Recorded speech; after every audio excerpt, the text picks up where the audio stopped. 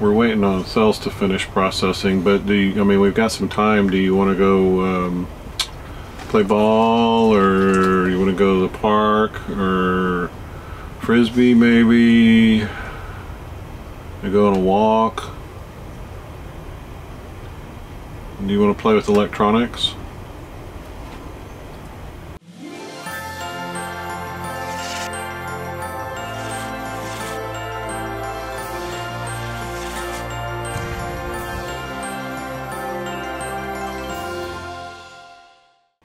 Hi, welcome to Canispater Christmas. In this episode, I'm going to show you my cell processing process. Um, I really wasn't gonna do this, but I figured for the sake of completeness um, and and kind of explaining some of the things that I've done might you know help some of you that are starting down this path. Um, I also got a question from somebody asking why is everybody building power walls out of 18650s? Uh, new sealed lead acid batteries are 10 times cheaper than used 18650s. They're also safer, easier to build out, and easier to recycle when the time comes. He also added that, you know, the, the advantage of lithium is space. Um, you can put a lot, you know, the energy density, you can put a lot more energy in a smaller space. But with a power wall, that's really typically not a problem. You have space in a stationary power wall. For most people, I would say that's true. I don't know that that's the case in all cases. The cost factor is something that's a little misleading because uh, you're not really comparing apples to apples at that point. So let's say you wanted to build a 100 amp hour battery. Now if you use 18650s and let's say you get 2.5 amp hour cells or 2500 milliamp hour cells, it would take about 40 of those to get you to 100 amp hours.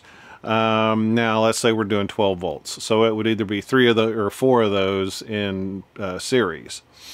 Um, so best case, it's 120 cells. Worst case is 160. Yeah. So let's figure about $170 for 100 of those. So you're looking at about $340 for 200. Now for lead acid, um, you really only get about half of the capacity of the battery, so you've got to double that. So you could go out and buy a 100 amp hour uh, lead acid battery, but you to equal the capacity of what you're building on the 18650 side, you'd need 200 amp hours. Now I found a 200 amp hour uh, AGM marine type battery at my local Batteries Plus for $204. So just straight purchasing, you know, what you can purchase, it's 340 versus 204. The other thing you have to keep in mind is the cycle count. So cycle count on lead acids is again about half as much as you can with 18650s. Now I understand that we're getting used 18650s and so we don't know what the cycle count is on them uh, or uh, we don't know how hard they've been hit, you know, what kind of life they've had. So it, it's it's tough to tell, but just from a straight numbers perspective, you get about half as many cycles on lead acid as you do with 18650s. Now it's true that the upfront building cost is going to be higher for 18650s because it takes a long time to put those together. But you'll be replacing the lead acids more often, so um, you know that could balance out. This also doesn't take into account the scrounging ability of somebody or the availability of 18650s wherever you are. Now, it may be hard to get them where you are. Um, it may not be for someone else. There are small businesses that have sprung up because people are good at scrounging some of these cells. They have more than they need, so they're selling them off. So it is harder to find them. It's not impossible. Now, as for recycling, I know that there is a, there's been a lot of work put into recycling lead acids. Um, probably not as much put into doing 18650s, although I did see something recently where they're doing that. So I don't know. It may be a thing now. It may be just a landfill somewhere. I, I really don't know. As for safety, look, don't abuse them. Don't puncture them. Don't overcharge them. don't throw them in a fire. Uh, don't put them in a wooden box.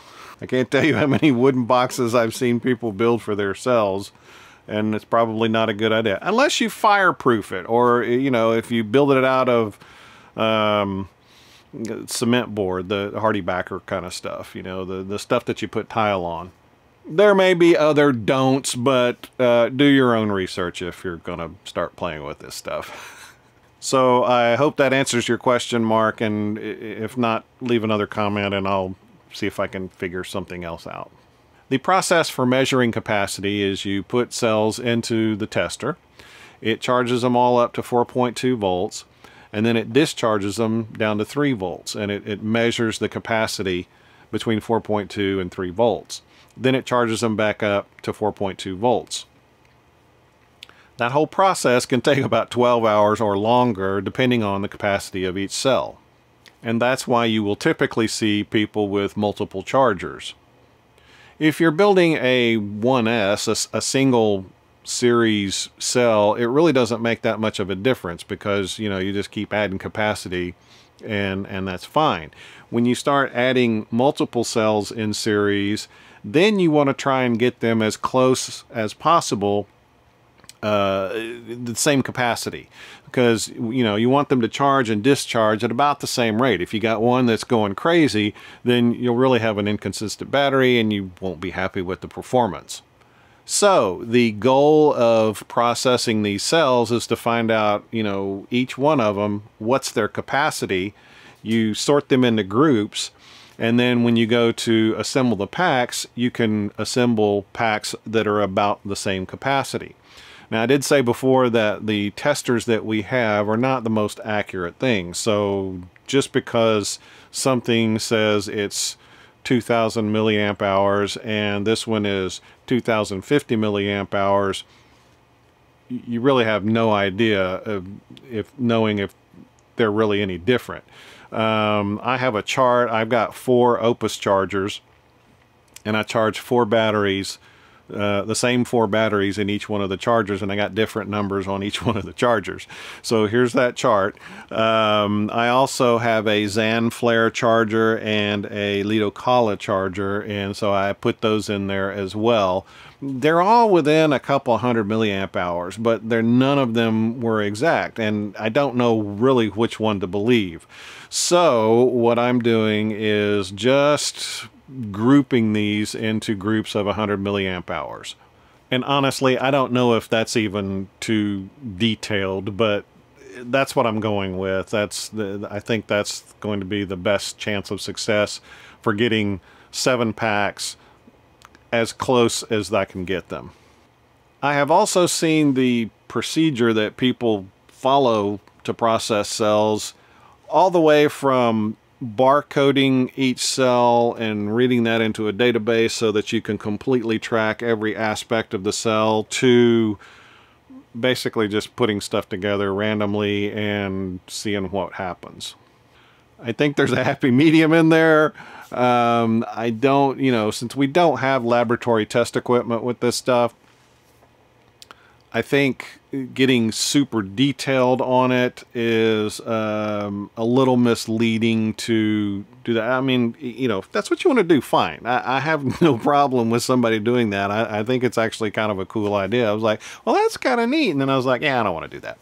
So I, I think I have come up with a kind of a happy medium for, uh, you know, sorting these cells and getting them tested. Uh, we'll see how well I did once I assemble all the packs and then do the final test on them. So this is when all the chargers are, are done. I'll go through all of these and kind of get an idea of what ranges I need. So here's some 29s, some 26s, uh, 26s, 27s, 28. So I need 26, 27, 28, 29. So I'll use one of these cell holders for each hundred uh, milliamp hours. And then what I'll do is I'll get me a little sticky pad. They only have um, five colors in this, so, so instead of seven, I'll just have to keep rotating through here. I'll just pick one color and um, write down the capacity. Let me do this real quick. So I'll do this. Can you see that? So it's 2900 milliamp hours. Today is the 19th and the 26th is when they need to be tested again. So I'll just check, you know, I'll pull these out, I'll sort them out into this group, um, and then I'll test them in a week. If they've got more than four, I think 4.1 or higher is what I'm going to do. I think uh, Daniel does it at 4.05 and I'll see what happens with uh, cells that are a little bit older, see if I need to go down that far. I did have one cell so far in all the testing that was 4.09, the rest were 4.1 or better, so you know, I may adjust that, but right now it's going to be 4.1. So anyway, I'll just go through here. Uh, so this is 2900. Let me see if I can find that one. Yeah, that's here. So here's 29.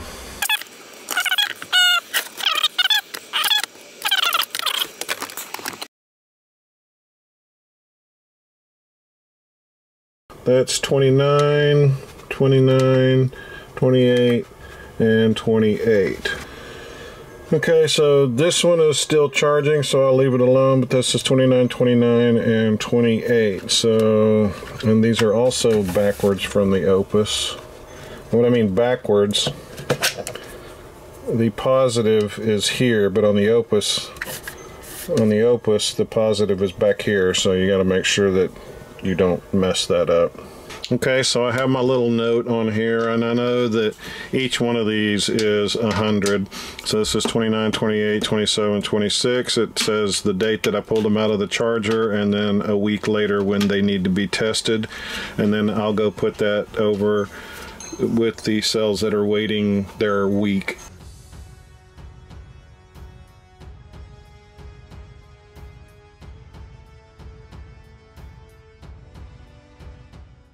All right, this is my one week waiting table.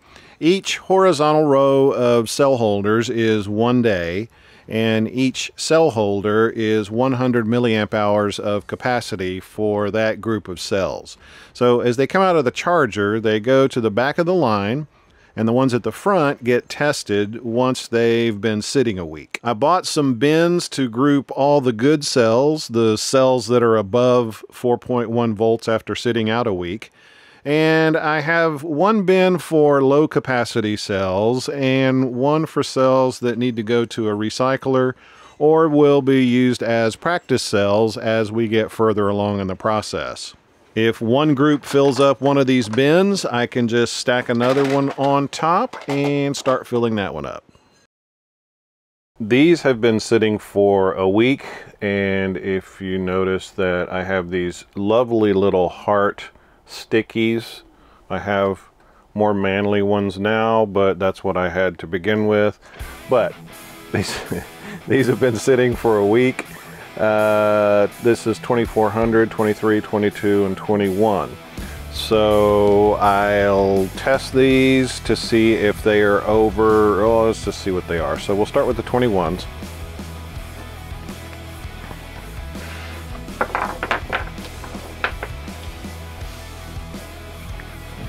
Line them up.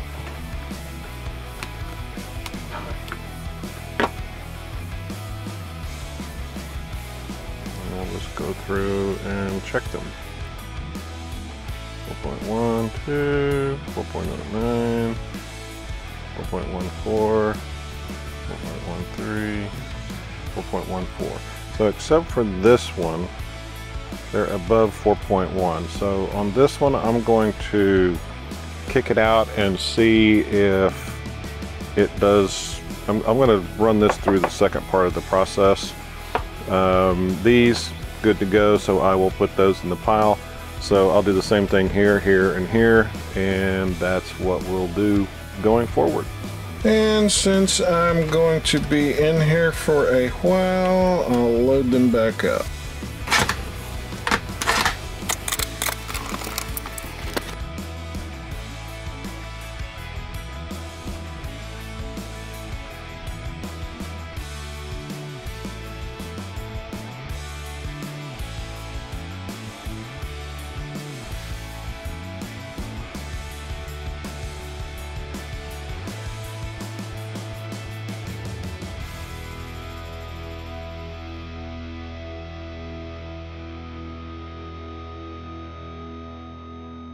That's the process that I'm going to follow uh, going forward. Feel free to tell me that I'm wrong and uh, suggest a better way. There's still time to correct the mistake if I'm making one, but uh, just based on everything that I've seen, I think that that's a workable solution. It's not uh, super detailed, but at the same time, we'll find out later how well how well it works.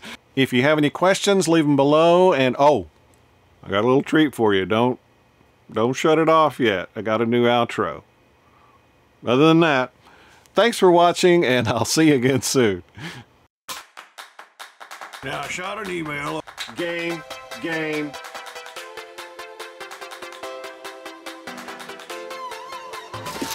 So I got six of these, and so they I got five